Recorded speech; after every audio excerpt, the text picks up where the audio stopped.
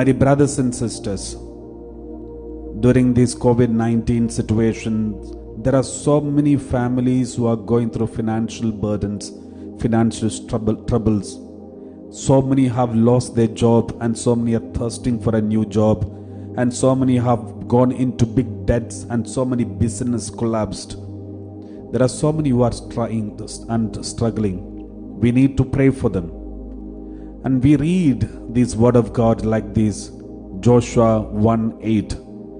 Chapter 1, verse 8. Word of God says, a special word of God that helps you financially and in every every area. If you are going through a financial struggle, repeat this word of God every day and make sure that whatever that is written there be followed.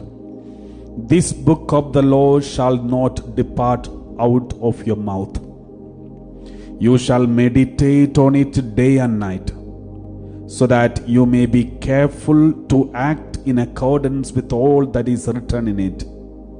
For then you shall make your way prosperous, and then you shall be successful. My dear brothers and sisters, this is something very, very, very important in our life because Bible says you know, there are so many words you are studying every day during this live streaming. Each day you are getting at least 5 to 10 word of God, new word of God is given to you, explained to you. You note it down. Please do note it down every day. And also through the Dewfall, every day you are getting special word of God and reflection along with that. So please do note these words of God every day. And then meditate on it the whole day. When you get a Dewfall early morning from the Divine UK Ministries, listen to that reflection, listen to that, and meditate on it the whole day and whole night until you get the another word of God the next day. The word of God says, You shall meditate on it day and night, so that you may be careful to act in accordance with all that is written in it we will be very careful in our daily life because all the words of God are there in our mind.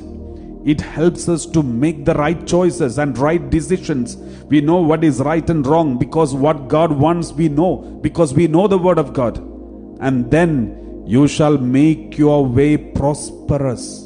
Prosperity is an assurance of God's blessing. The Lord says, Then you shall make your way prosperous. Therefore, make sure that you repeat the word of God, meditate the word of God every day.